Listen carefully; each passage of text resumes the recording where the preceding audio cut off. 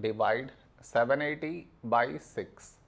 To do this division, we should frame it in this way. 780 here,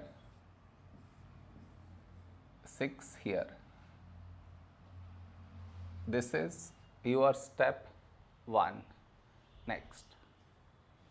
Here we have 7, here 6.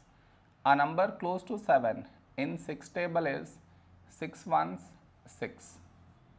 Now we should subtract, we get 1.